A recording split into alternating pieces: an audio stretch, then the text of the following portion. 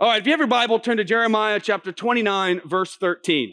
This is the whole point of our series. How many of you want God to do something incredible in your life and your family? This is the requirement.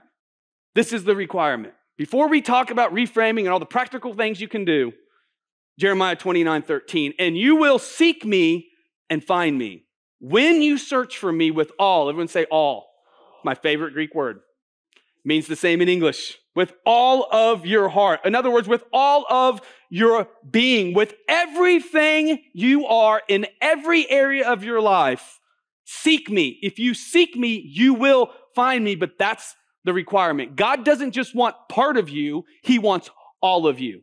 And if you're not willing to give God all of you, you will never be all that God's created you to be, and you will never be able to move in the direction He's calling you to move. Today, we're going to talk about how to reframe your perspective. Again, I'm going to cover lots of things. I'm going to stay very close to my notes because I really believe if there was one message that I could teach, one, and I never taught another one, it would be this one. I believe there are so many, so many practical biblical things in this message that I'm praying that God gives you just one or two things to think about this week as you reframe where your eyes are. Everything positive and negative in your life is a result of where you put your eyes. For example, when you stare at something, you multiply that something in your life. If you're looking at all the all the all the things that annoy you about your spouse, guess what you're only going to see? If you're focusing about all the things that drive you crazy in the culture, I can relate. If you haven't followed me on social media this week, I'm back, baby. Come on.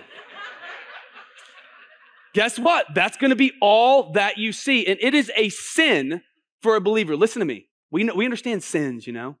Don't lie, don't cheat, don't murder. You know, don't mess with somebody else's spouse. Come on, we all know those sins, but you know it's a sin for a Christian to be in despair. It's a sin for a Christian to retreat from culture. It is a sin. It's a lack of faith and it's an abundance of fear. And so, wherever your eyes are, or where you're going to go. So, what I want to do today is I want to start with this power, with this message on the power of vision. I want you to think about this for a moment because I believe this is what God wants to do. God wants to call all of us up. When we talk about perspective, notice God called Moses to the top of the mountain. He didn't say, hey, come down to me. See, we say that a lot. We do. Hey, come down to me, hold me, cuddle me in my, in my despair, right? God says, no, no, no, no, I'll heal you. No, no, no, no. I'll, I'll give you fresh vision for your life, but you're coming up the mountain. I'm not coming down. He already came down. His name was Jesus. He died on a cross and he rose from the dead. And guess where he's sitting now? So every time the Holy Spirit wants to do something in our life, he calls us up the mountain. He changes the way that we see.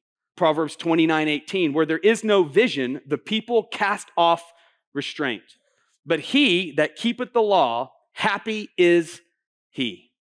There is nothing better than living according to God's plan and having his perspective on life. What I want to do is I want to lay out a framework because there is a hierarchy to how God works. Without hierarchy, there is no order.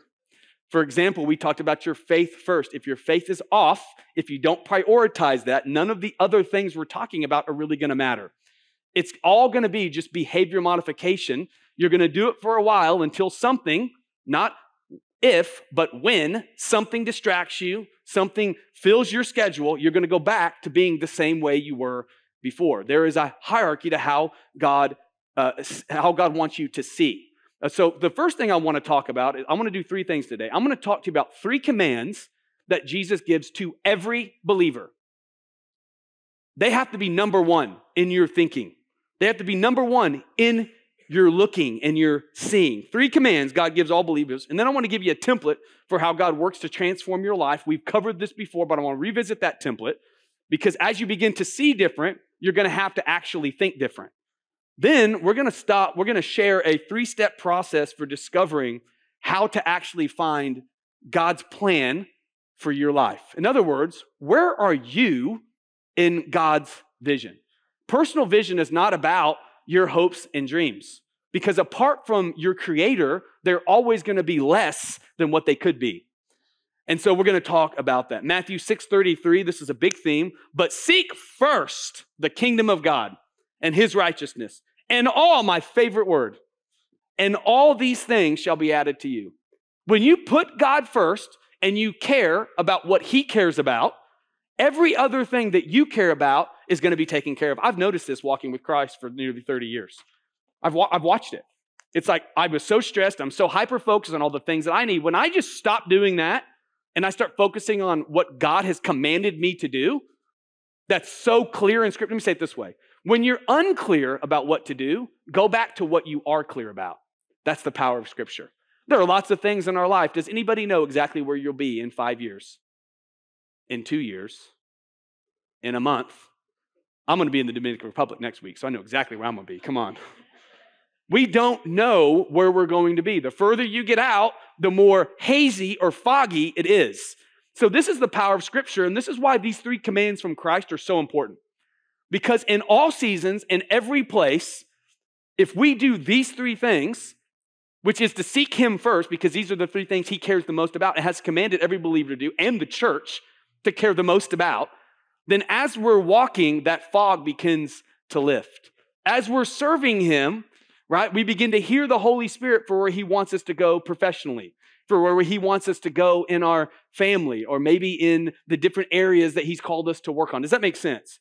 And so there are three commands of Jesus. This is, this is interesting. I'm going to go through these pretty fast because if you've gone through membership university, you already know these. These guide our church. They shouldn't just guide our church, though, they should guide your life. The church is only as strong as its weakest member. The church is only as effective as the person who understands these the least. And so we've got to nail down on them. After Jesus' resurrection and before his ascension on the Mount of Olives, he gave three distinct commandments. Many of us think of the Great Commission. There are actually three. There are three things that he told us to do. They are in order by time, okay? And they are also given to different, uh, different disciples at different times. They're written by different gospel writers. Just so that we wouldn't miss it, it is crystal clear. On the night of the resurrection, you might remember all the disciples are being censored, censored by the government on social media. Do you remember that? Remember the truth of God's word, of the kingdom, the Beatitudes, that was called hate speech, and they were called bigots. They were so scared of what happening to them, what happened to Christ. They were huddled up in the upper room. Many theologians believe this is the same place where Jesus had the Last Supper. They still, they, they hadn't checked out yet. They had another day or three. They're up there terrified. The Bible says the door was locked. They were so scared. Jesus walked through the door. I don't even know how he did that, but he was in a new body. We're going to get one too. I, that's going to be cool. I can't wait. He walks in, and this is what he says in Mark 16 Go into all the world and preach. Everyone say preach. Don't shut up. That's the first thing you're going to want to do when pressure comes at you. Do not stop preaching the good news to everyone, even those who are going to pick up stones to stone you, even those who are going to cancel you. This is the very first thing he tells us to do. If we won't speak, courage is the highest of all virtues. You know why? Without courage, you can't do anything else. They were in fear. He says, Be in faith and don't shut your mouth. They hated me, they will hate you. Just accept it. But I will do great things. Anyone who believes and is baptized will be saved. But then he also says, Anybody who doesn't will be condemned. That's not our department. Our responsibility is to preach. Two weeks later on the Sea of Galilee, he gives another, and he adds to this you might remember he's in the same place, theologians believe, where he called his original disciples. Incidentally, it's also where all of them ran to when they failed. What do you do when you think that you don't measure up as a Christian? You go back to your old life. Jesus said to these men, You will be fishers of men, but that didn't really work out. And so what did they do? They went back to be fishers of fish. He shows up and he calls them back to the mission he's called them to. He says this in Matthew 28 18.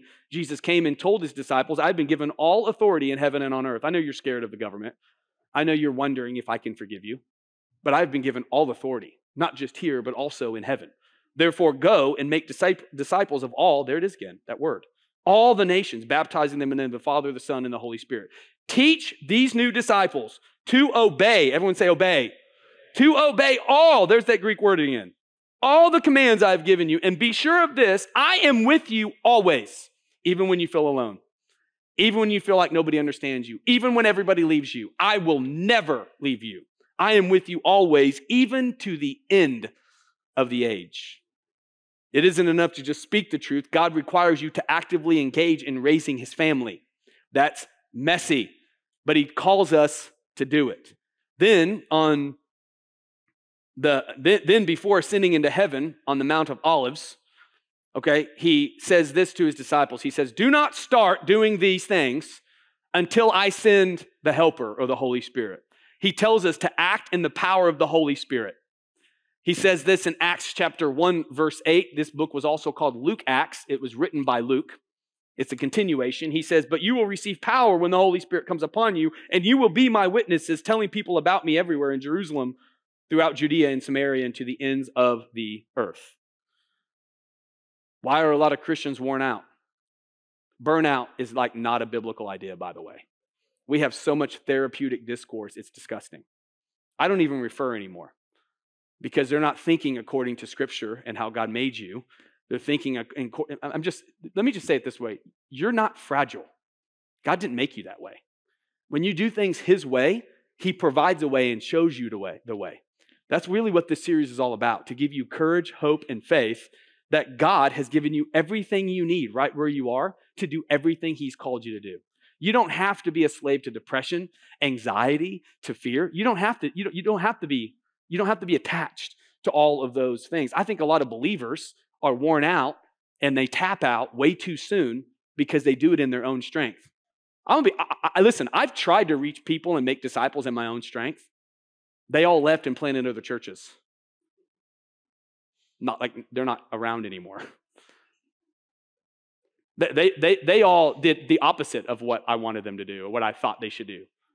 And it, and it was freedom when I realized that my identity is not connected to how well you obey Christ. I'm not responsible for you. I'm responsible and I will give an account to God, a greater one, he says, for teaching the word and holding you to the line. Whether or not you can lead a horse to water, but you can't make it. Only the Holy Spirit makes it drinks, makes it drink. We plant, we water, but only the Holy Spirit gives growth. That's the Holy Spirit in you, speaking to you. Hey, you know what? Let your yes be yes and your no be no. Many people, we don't listen to the Holy Spirit before we say yes. And as a result, we're worn out. And quite frankly, we don't follow through on our obligations. Many of us, we don't listen to the Holy Spirit when He tells us to do something. As a result, we struggle in our finances, in our family, in the different areas of our life. We need the Holy Spirit to direct and guide us. That is the only way you will be refreshed. That is the only way you will have the truth. That is the only way you will be filled so that you can pour your life out in reaching and discipling people. So we have an understanding. God gives these commands to every single believer. This is not just your pastor's job. It's not just your pastor's job to organize beast feasts so that we can bring in the community. Now, I love doing that. But guess what I did right when God gave me that idea? I said, man, I ain't doing this alone. Come on, y'all, come help me out.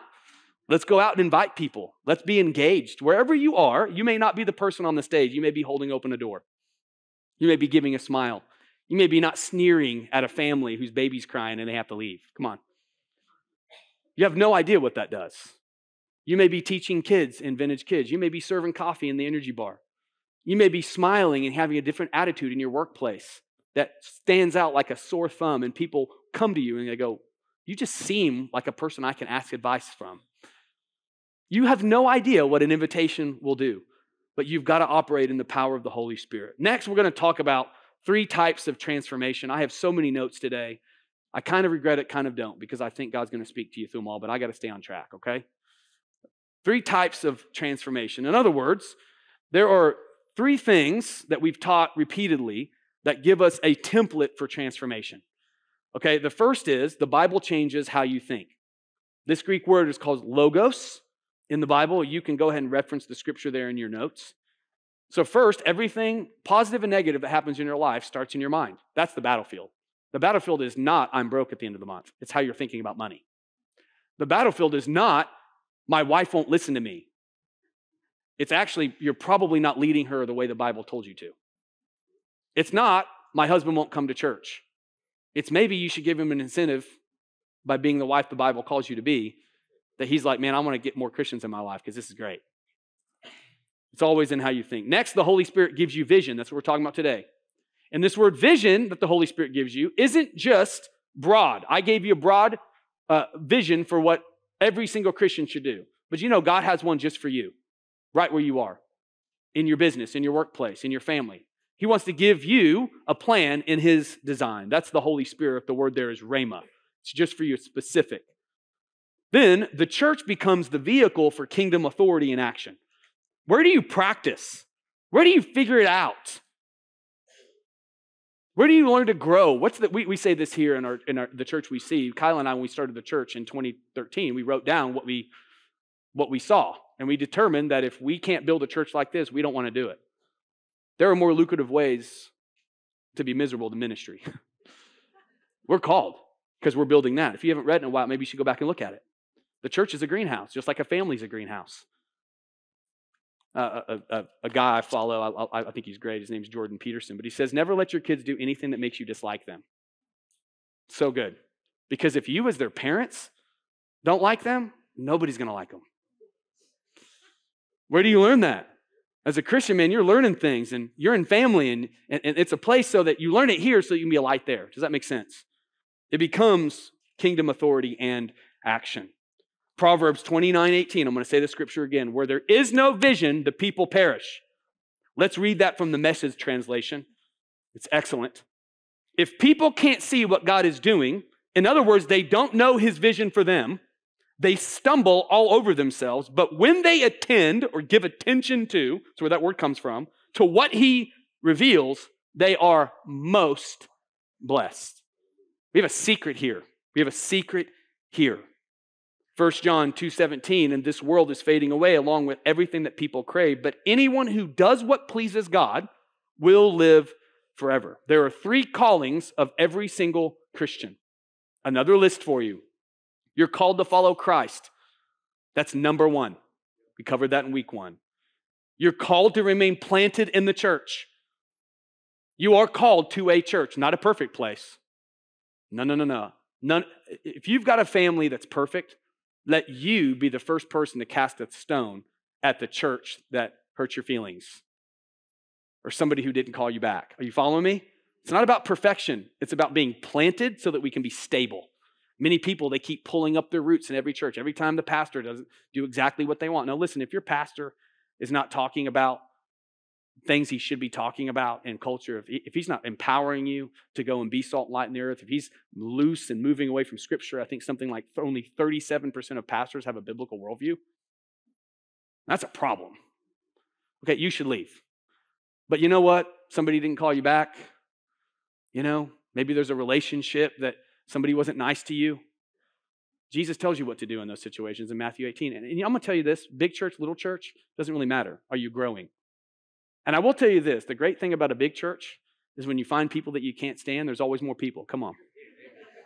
You're called to remain planting. Next, you're called to make a difference in this world. That's what we're talking about today. You're called to make a difference wherever you are in this world. In this world. Three steps to developing a personal vision. We're going to focus in on that difference. How can you make a difference in this world? You can vote, yeah. Physical exercise is great, yeah. But how many you know gravity eventually wins? You, you can have all these little different pieces, but how can you ensure that you're moving in the right direction and that you're putting yourself in the best possible place to make the biggest possible difference with your life. I'm going to give you a formula that I've used for years. I've talked about it a lot. I do want to let you know everything I'm going to talk about for the next few moments, I'm going to actually show you how to do at the Good Steward Workshop. So, so we're, we're taking limited numbers too because there's going to be small groups, there's going to be all kinds of breakouts. It's going to be very, very different than what you've attended. And so I want to encourage you, if you haven't already, you better register. I think we're probably going to take about 100 people. Okay, and so it's about as much room as we have. And so I'm going to actually break down how to do this um, in that workshop. But I want you to be thinking about this. Philippians 3:13, no, dear brothers and sisters, Paul says, I have not achieved it, but I focus on one thing. I'm going to say one. I love this. He says, I focus. What is focus about? I put my eyes on one thing. Forgetting the past it's over. Looking forward to what lies ahead. I'm not there yet, but I'm excited about it. But in the present, I press on to reach the end of the race, to receive the heavenly prize for which God, through Christ Jesus, is calling us. Here's a few steps to developing a personal vision. First, discover the why of your life. Where should you start? You should start where you end. Should the Lord tarry, every generation of Christians have believed he could come back at any moment, and they hoped that it was their generation. I hope. I hope that's true. People ask me all the time, Pastor, are we living in the end days? I said, honestly, it looks like it. I'm not really sure, but one thing I do know these are your end days. When they're gone, they're gone. Where should you start your funeral? I, I, have walked people through this exercise, and it's incredibly powerful. Write down your eulogy. Take the most important people, start with God, then move to your spouse if you have one, move to your family, your siblings, your friends, your community, your church. What would you want them to say at your funeral? None of us want anybody to have to lie.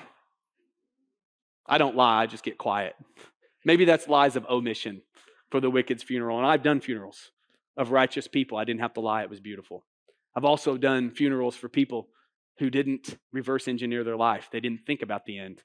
So when they got there, there was nobody around them. When they got there, their impact was limited. There was lots of hurt and pain. When they got there, it wasn't anything like what I could imagine they would have wanted. Proverbs 9 10, for the fear of the Lord is the foundation of wisdom. What happens when you die? You will stand before God and you will give an account.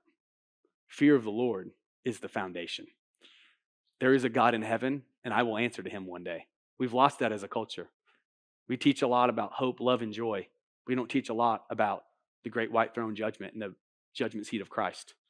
Those who are not, those who don't know Jesus, you're going to stand before the great white throne. It's yes or no. Did you make him the Lord of your life? Yes or no? For those of us who said yes, we're going to stand before the judgment seat of Christ. And the Bible says everything we've done is going to be put through a spiritual fire. And anything that remains is our reward. We will be rewarded for even giving a little cup to a kid. Don't think that what you do matter, doesn't matter, because it does. I tell our staff all the time hey, I know you're in ministry, but you're still a Christian. And I want to make sure you go to heaven and you have lots of thing that remains. By the way, everything we pay you to do, we say thank you and you get your reward on the 1st and 15th of every month. It's not what we pay you to do, it's what you do above and beyond that's going to last. And I will just tell you one thing for all you serve team leaders that are working just as much as our staff, can I just tell you, God doesn't forget one of those things. You're not working as unto man, you're working as unto God. And one day you're going to get to heaven. You're going to be a little little little you know gripey this side of heaven when we keep pushing you. But one day you're going to be high-fiving. I, I had a pastor tell me the definition of pastoral leadership. He said it's taking god's people where they don't want to go kicking and screaming so that when they get to heaven they say look what me and god did that's the mission. That's the church. Next or I'm sorry, eternal perspective determines or orders our priorities. We're going to talk about priorities next. Determine the what and how of your life. This is all about, from your eulogy, reverse engineering your life. What do I have to focus on to actually get there? It's one thing to say you want God to say that about you. It's one thing you say you want your spouse to say that about you. But if you never prioritize them, you'll never get there. So, what are those relationships, those priorities? I, we've broken down several priorities for you that I want to give you. I have a little wheel here. We're going to put it on the screen. This is also how our discipleship courses are organized. We have one for each one of these. We're in the fitness. I think it's fitness, is how we say it in the South. Come on, fitness. Fitness, faith, family, finances, freedom. Those are priorities. When you don't have a family, guess what your priority is? Becoming the person who can support someone can care and nurture for someone. When you get married, guess who's your family? Your wife first, not your mother in law or your mom. It's a big problem in marriages. For this reason, a man will leave their father and mother, leave and cleave. It doesn't say that about women, by the way, so you probably just have to get over it, guys, with the in laws. Okay, anyways. It's funny because it's true. It is. My girls will take care of me when I'm older. And their son in law, my son in laws will just have to figure it out. Your priorities determine your relationship. So you set, you set your priorities, and then you begin to form your relationships. Your relationships should have a connection to what you've prioritized, and your priorities should have a connection to what you want at the end when you stand before God. Those should all be in alignment. God uses us or develop the who of your life. I teach you how to map your relationships. Ecclesiastes 4:12 a person standing alone can be attacked and defeated, but two can stand back to back and conquer. Three are even better, for a triple braided cord is not easily broken. Write this down. God uses us, God uses us to grow people and people to grow us. God uses us to grow people. We have a part to play. There are people looking up to you and people to grow us. I think about this in every room I go in. God, who in here you, God puts you in every room you're in, unless it's an evil one. You should leave that room. There are some of those rooms. I think you know what those rooms are. Don't be in those rooms. But God uses us to grow people and people to grow us. I'm going to talk about relationships as we close. Three minutes. I am on time somehow. Oh, they're serenading me. Thank you. He's perfect. You're perfect timing, brother. You're like, come on, let's move it on. Three minutes can go 15 real fast. There are three relationships that you need to think about when you map them out. And I'm going to say this because somebody needs to hear this. God has not called you to be close to everybody. The Bible says, don't be unequally yoked with unbelievers. Solomon had all the wisdom in the world, but foreign women worshiping foreign gods led his heart astray. Obviously, that's with your spouse, but it's also with your friendship. Some of you give your life to Christ, you think you can have all those old buddies. It's not true. It is not unloving to not allow wicked people to influence you. Now, that doesn't mean that you write them off. It doesn't mean you, you know, you thump your Bible at them. But there is a distance that begins, you begin to move away from them and closer to the people of God. That's how that's supposed to be. And here's what happens most of them come with you because they see the change in you. And so they end up giving their life to Christ as well. But three relationships I want you to think about. I want you to think about a tic tac toe board. You guys remember tic tac toe? Put yourself in the middle of the tic tac toe board.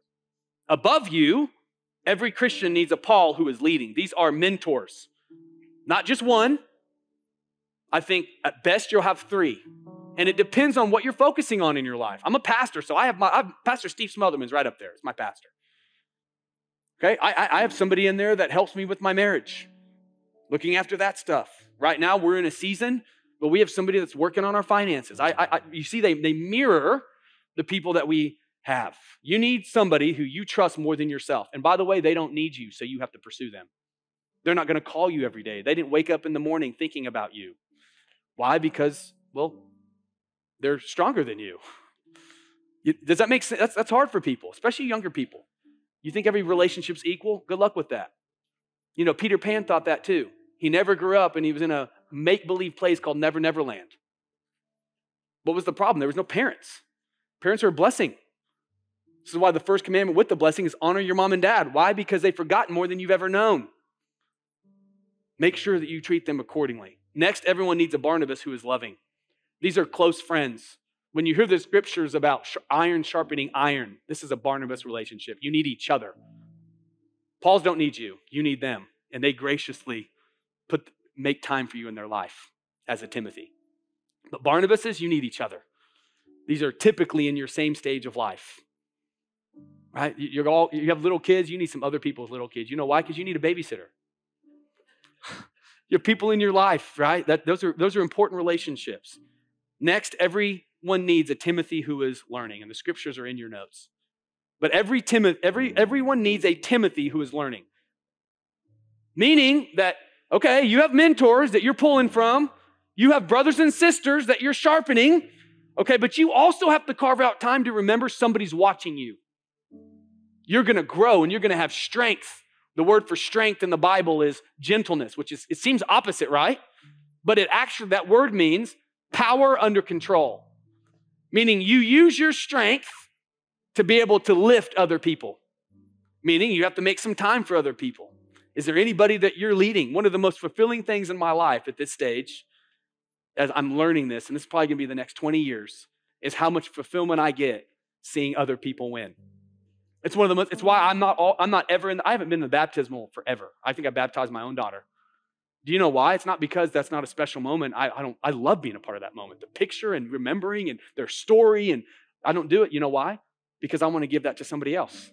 It's that meaningful. We have other pastors, we have parents that'll do it with their kids, and other leaders and elders. That, that's incredibly meaningful. And by the way, I get great meaning out of that.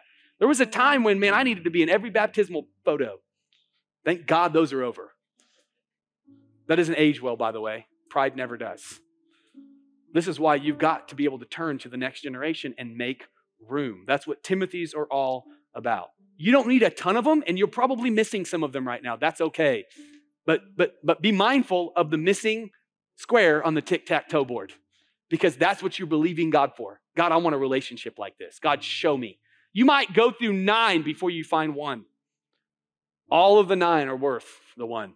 And God uses people to grow you. When we're talking about perspective, we have to put God first. What has God called every believer to do? We have to remember that the way He transforms us is by changing the way we, we think through His Word and the Holy Spirit and our place in the local church. And finally, we have to begin to have a vision for our own life. It's your life. God wants to do something incredible through it. Keep your eyes on Him. Prioritize the right things and make sure that you pray for the right people bring, that He wants to bring into your life. Let me, let me pray for you. God, I thank you so much for every single person here. I thank you, Father, for this series. I, I thank you, God, really for your word, which gives us such a clear template for how to win in every area of our life. I just pray, God, that whatever your people need to hear this morning, they would hear it. They would that, that, that, those words sown that maybe maybe they don't know what to do with yet, Lord. They're, they're like seeds in their heart. Father, if they keep watering, eventually when they need it, it will spring up and it'll be everything they need. I, I pray, God, that you speak to your people this week. That if there's some things that need to shift, that need to realign, there's some things that need to come out of their life and come into their life, I pray that the Spirit of truth, the Holy Spirit, would give wisdom and direction in each and one of our lives. God, I also pray for anybody in here that's far from you. I pray they would not leave this place the same way that they came in. Maybe you're in here and you're far from God. Let's stay in an attitude of prayer, heads bowed, eyes closed. If you're in here and you're far from God, I don't have to embarrass you. I don't have to call you forward, single you out. You know if you're playing with God, and your life shows it. After following Christ for 30 years, I can save you a lot of heartache and pain. You will never be all that God created you to be apart from your Creator. You can't know Him apart from Jesus, accepting that what the Bible says about him is true, that he died on the cross, that he rose from the dead. And in doing so, he has the power to save you, to redeem you, to create you new. And his heads are bowed, eyes are closed.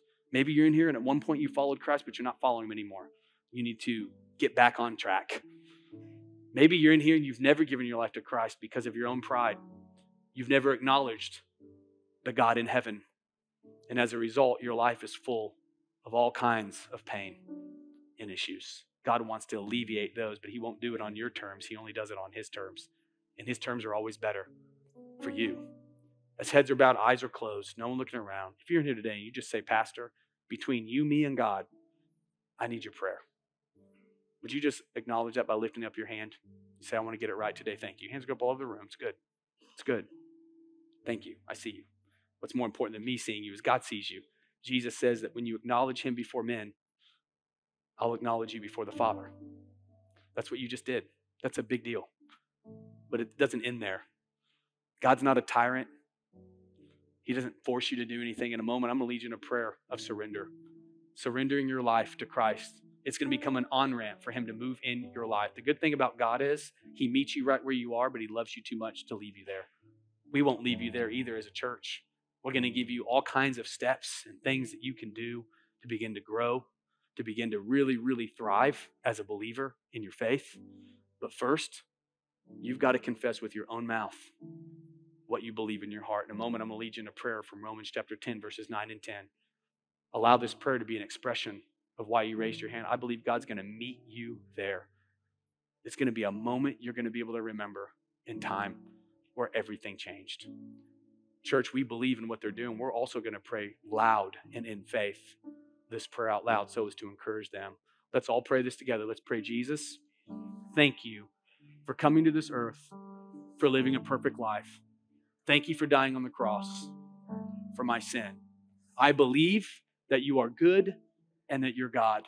I believe on the third day, after you were killed on the cross, I believe you resurrected from the dead. I believe you conquered death to give me life.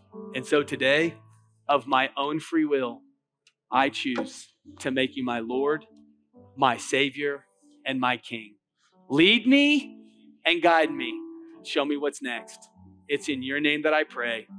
And everybody said, Amen. Amen. Come on, church. Let's put our hands together for everybody who did that.